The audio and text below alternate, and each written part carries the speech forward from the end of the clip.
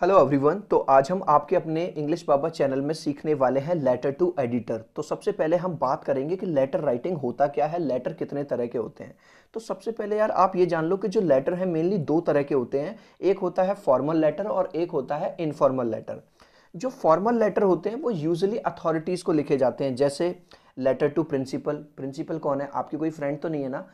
Authority आपके लिए, या कमिश्नर को लिखा जाएगा लेटर टू कमिश्नर या किसी हायर अथॉरिटीज़ को, या किसी न्यूज़पेपर के एडिटर को लिखा जाएगा फॉर्मल लेटर ठीक है? और इनफॉर्मल लेटर हम कैसे लिखते हैं? इनफॉर्मल लेटर हम यूज़ करते हैं to communicate with our friends और रिलेटिव्स ठीक है? अपने दोस्तों से, अपने सगे संबंधियों से बात करने के लिए। लेकिन आज की डेट में अगर मैं बात करूँ तो practically informal informal letter use नहीं होता। क्यों? क्योंकि आजकल यार व्हाट्सएप आ गया फेसबुक आ गया इंस्टाग्राम आ गया तो हम यूजली बस वहीं पे मैसेज कर देते हैं। फॉर्मल लेटर के अंदर एक बहुत बड़ा चेंज आया है सीबीएसई e के अंदर, वो मैं अभी आपको बताऊँगा, ठीक है? अब लेटर टू एडिटर जो कि आपका आठ नंबर का आएगा, उसमें दो बातें आपको ध्यान रखनी है। कौन कौन सी? नंबर एक to whom you are writing लिख किसको रहे हो? एंड अबाउट वॉट किस प्रॉब्लम के बारे में लिख रहे हो? इतनी बात क्लियर है? किसको लिख रहे हो? और अबाउट वॉट किसके बारे में लिख रहे हो? अब जल्दी से देख लो कि टोटल जो मार्क्स हैं, आठ नंबर उसका डिस्ट्रीब्यूशन किस तरह से है लेटर टू एडिटर में? टोटल नंबर आठ नंबर का आएगा। इसमें जो फॉर्मेट है, वो है एक नंबर का। कंटेंट है चार नंबर का और एक्सप्रेशन है तीन नंबर के। अब तुम कहोगे, सर फॉर्मेट तो समझ में आ गया कि सबसे पहले एड्रेस फिर डेट फिर एड्रेस फिर ये, वो सब। कंटेंट का मतलब कंटेंट का मतलब है जो बॉडी आप उसमें लिख रहे हो, जो लैंग्वेज आप लिख रहे हो, वो कंटेंट ठीक है? और एक्सप्रेशन का मतलब है कि आप जो स्पेलिंग लिख रहे हो या आप जो कंटेंट जो आपने लिखा, उसके अंदर ग्रामर सही है या नहीं है, जहाँ फ़र्स्ट फॉर्म लगानी थी, वहाँ फ़र्स्ट फॉर्म आपने लगाई या नहीं लगाई, जहाँ मेन वर्ग की फ़र्स्ट फॉर्म में ऐसे या ई एस लगाना था, वो आपने लगाया या नहीं लगाया। ठीक है? अब आता है कि भाई हम लेटर लिखते क्यों हैं? लेटर टू एडिटर लिखते क्यों हैं? देखो, यहाँ पे ये मैंने एक एडिटर दिखाई हुई है। ओए होए अगर भाई साहब इतनी सुंदर एडिटर हो ना तो मैं तो रोज लेटर लिखूँ। चलिए, जो एडिटर को जो लेटर्स लिखे जाते हैं, वो लिखे जाते हैं जनरल प्रॉब्लम्स के बारे में। जैसे, मान के चलो, आप किसी सिटी में रहते हो और वहाँ की सड़कें बहुत ज़्यादा ख़राब हैं, बारिश वगैरह से ही पूरी सड़कें सड़कें ख़राब हो जाती हैं, जैसा कि आपको यहाँ पे फिगर में दिखाई दे रहा है तो आपको हो सकता है एक क्वेश्चन आ जाए कि भाई एक लेटर टू एडिटर लिखो और उसमें ये दिखाओ कि आपके शहर में बहुत ज़्यादा प्रॉब्लम चल रही है ताकि कंसर्न अथॉरिटीज़ इस पर एक्शन ले। या हो सकता है इस तरह की प्रॉब्लम दिखाए कि भाई आपके शहर में पॉल्यूशन बहुत बढ़ गया है, एक लेटर लिखो एडिटर को।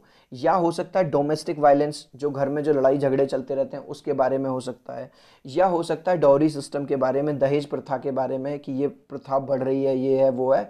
तो इस तरह की कोई भी प्रॉब्लम ये मैंने चार पाँच एग्जाम्पल्स आपको दे दिए, इस तरह की कोई भी प्रॉब्लम वो आपको एग्ज़ाम में दे देगा और आपको क्या करना है? फिर एक लेटर लिखना है। अब चलो यार, आप कहोगे, सर, बहुत देर हो गई, अब सीधे ये बताओ एग्ज़ाम में क्वेश्चन कैसे आएगा? देखो क्वेश्चन आएगा इस तरह से, जैसा कि आपकी स्क्रीन पे आ रहा है, देख लेते हैं।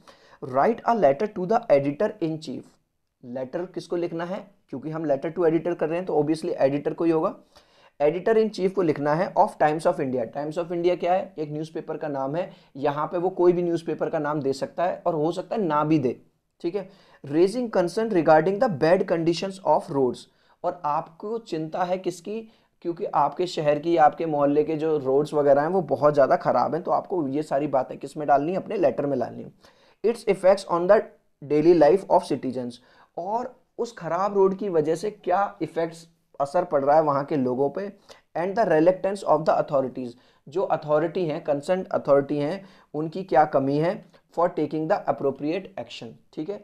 तो क्वेश्चन समझ में आ गया। इस तरह का कोई भी क्वेश्चन आ सकता है जिसमें आपको लेटर लिखना होगा एडिटर को और वो सारी प्रॉब्लम्स डालनी होगी और उसमें आप फिर रिक्वेस्ट करोगे अथॉरिटी से कि भाई वो इसे देखें और एक्शन लें।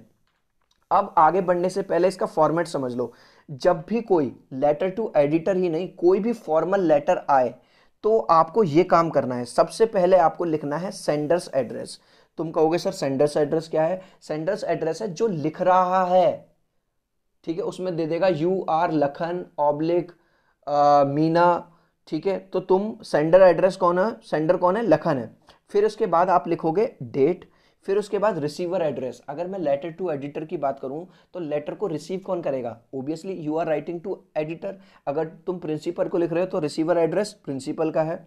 अब देखो, ये आया है सबसे बड़ा चेंज सैल्यूटेशन ऊपर है और सब्जेक्ट नीचे है। जी हाँ अगर मैं दो साल पहले तक बात करूँ तो सब्जेक्ट ऊपर आता था और सैल्यूटेशन नीचे। जो लोग नहीं समझ पा रहे सैल्यूटेशन का मतलब होता है डियर सर या डियर मैडम कुछ इस तरह से जो आप लिखते हो, ठीक है? और सब्जेक्ट क्या होता है? जैसे फॉर एग्जांपल अगर आपको ये वाला मिला क्वेश्चन तो यहाँ पे सब्जेक्ट है regarding the bad condition of the road ठीक है? फिर उसके बाद आप लिखते हो बॉडी यानी कि जो लैंग्वेज आपको लिखनी है, और उसके बाद में आप कॉम्प्लीमेंट्री क्लोजिंग करते हो योर्स फेथफुली योर्स ट्रूली इस तरह से आप एक ख़त्म करते हो। अब आप कहोगे, सर, ये जो आपने पूरा लेटर लिखा हुआ है, ये तो हमें दिख ही नहीं रहा, इतना छोटा छोटा क्यों लिखा हुआ है? देखो, यहाँ अभी मैं आपको पूरा अच्छे से समझाऊँगा, नीचे मैंने बड़ा बड़ा लिखा हुआ है, पर यहाँ मैं इसलिए आपको एक चीज़ सिखाना चाहता था। देखो, अगर आप लेफ़्ट साइड में देख रहे हो तो पूरा का पूरा जो लेटर है, देखो, एक सीध में है, दिख रहा है? पूरा वर्टिकल एक ही सीध में, ऐसा नहीं है। लेफ़्ट साइड से कुछ कुछ वर्ड आगे हैं, कुछ पीछे हैं। So you have to pay attention while writing your letter in the C B S E exam दूसरा, कुछ बच्चे क्या करते हैं सीबीएसई e में एग्ज़ाम में लिखते हुए लेटर को नीचे से शुरू करेंगे किसी पेज के। कोशिश करना कि लेटर को आप फ्रेश पेज से शुरू करो, एक नए पेज से शुरू करो, ताकि ऊपर ही एड्रेस वगैरह डेट वगैरह सैल्यूटेशन और सब्जेक्ट उसे एग्जामिनर को चेक करते हुए दिखे, ताकि आपको आठ में से आठ मार्क्स मिल सके। ठीक है? तो चलो यार, शुरुआत करते हैं अब इसकी। देखो, सबसे पहले, अगर मैं, पहले इसी में बताऊँ। देखो, सबसे पहले मैंने एड्रेस डाला हुआ है। एड्रेस के बाद मैंने लाइन छोड़ी हुई है, फिर मैंने डेट डाली हुई है। फिर उसके बाद मैंने रिसीवर्स का एड्रेस डाला हुआ है, फिर उसके बाद सैल्यूटेशन फिर उसके बाद सब्जेक्ट फिर उसके बाद बॉडी और फिर कॉम्प्लीमेंट्री एंडिंग की है। ठीक है? अब इसे समझ लेते हैं धीरे धीरे करके।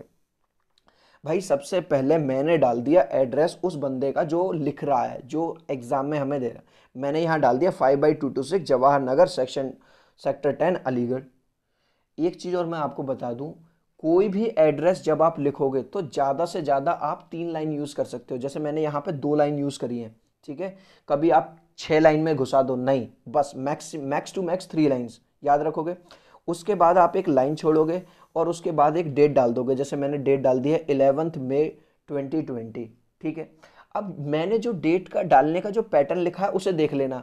इसे तुम ऐसे मत लिख देना, जैसे 11 मई, जनवरी, फरवरी, मार्च, अप्रैल, मई तो 11 पाँच 2020 या 11 फाइव 2020 गलत हो जाएगी डेट या तो लिख देना मे 11 टू ट्वेंटी या ऐसे लिख देना इलेवंथ मे 2020 समझ में आ रही है?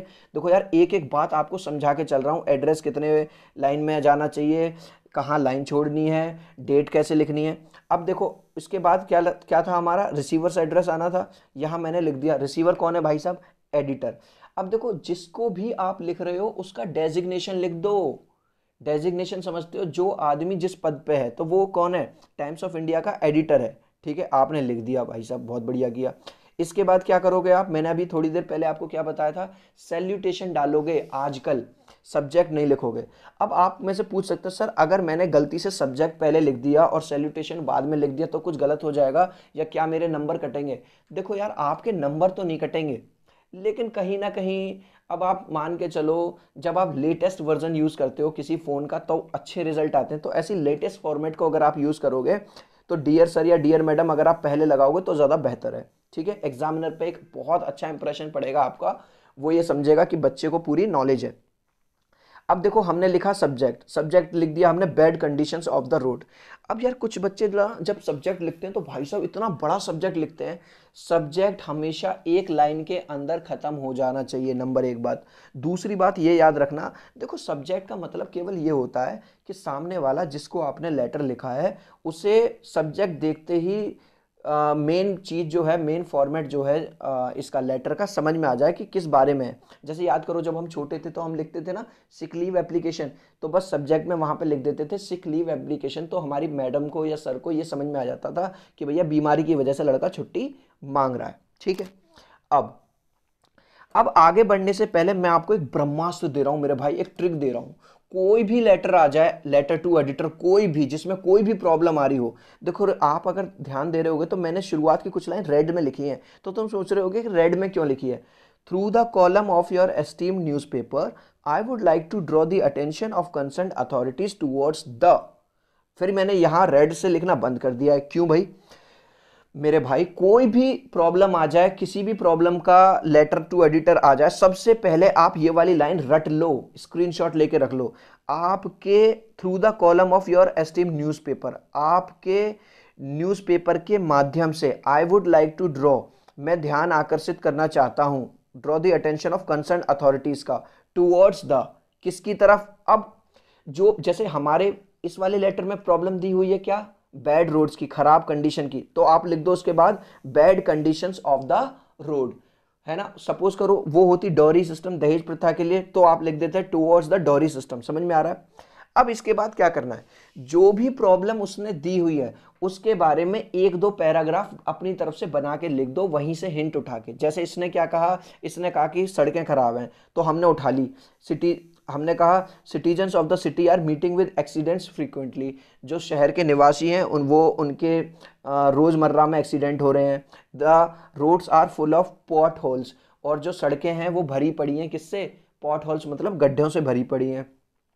Slight rain makes the entire roads flooded and messy थोड़ी सी ही बारिश से ही जो पूरे रोड्स हैं, वो पूरे फ्लडेड का मतलब पानी पानी से भरे भरे हो जाते हैं और गंदे हो जाते हैं, मैसी का मतलब। School going students face a lot of problem in reaching school at time because of all this और जो भी बच्चे स्कूल जाने वाले हैं, क्योंकि स्कूल का तो एक टाइमिंग होता है, साढ़े सात, आठ, वो लेट हो जाते हैं इन सब वजह से। ठीक है? तो देख लिया आपने, हमने ओपनिंग करी, वो रेड लाइन से जो मैंने आपको बता दिया कि भाई वो तो रट लेना। उसके बाद जो भी प्रॉब्लम आए, उसके बारे में थोड़ा सा लिख देना।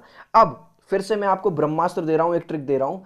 ये वाली लाइन जो अब बता रहा हूँ, ये भी हर उसमें कॉपी पेस्ट कर देना, भाई साहब इसे रट लेना।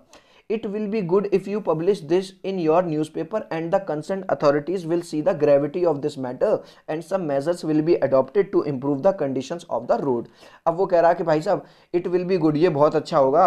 अगर आप इस मैटर को जो मैं आपको डाल रहा हूँ न्यूज़ पेपर में पब्लिश कर देते हो, ताकि जो कंसर्न अथॉरिटीज़ हैं, जो अफसर हैं, जो लोग हैं, वो इस मैटर की तह तक जाएँ and some measures will be adopted ताकि कुछ एक्शन लिया जाए to improve the condition of the road road की कंडीशंस को इम्प्रूव करने के लिए।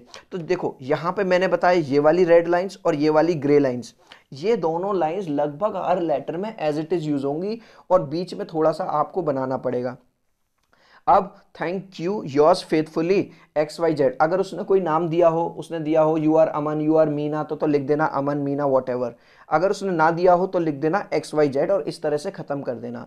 अब हो सकता है तुम्हारे दिमाग में ये सवाल आ रहा हो कि सर योर्स फेथफुली की जगह योर्स ओबिडेंटली कर दें। हम तो छोटे पे जब एप्लीकेशन लिखते थे तो नहीं नहीं, आपको योर्स ओबिडेंटली नहीं करना। हाँ अगर आप फेथफुली की जगह लगाना चाहते हो तो आप ट्रूली लगा लेना योर्स ट्रूली ठीक है, वो भी चल जाएगा।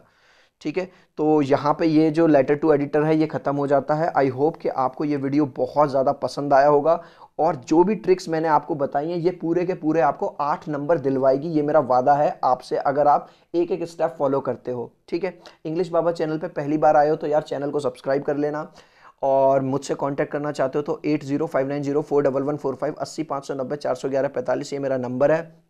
मुझसे आप व्हाट्सएप पे भी कांटेक्ट कर सकते हो और कॉल भी कर सकते हो। जब भी आप कोई भी कंटेंट सर्च करते हो physics chemistry bio math science कुछ भी तो आप चैप्टर का नाम लिख के बाय इंग्लिश बाबा लिखा करो। जैसे आपको लेटर चाहिए तो आप लिखना letter by English Baba. Letter to editor चाहिए तो लिखना letter to editor by English Baba. Letter to God चाहिए तो लिखना letter to God by English Baba. Letter to God के क्वेश्चन आंसर चाहिए तो लिखना letter to God question answer by English Baba. Bio का चैप्टर वन है life process अगर वो चाहिए तो लिखना life process by English Baba. इस तरह से आपको सारे टॉपिक मिल जाएँगे।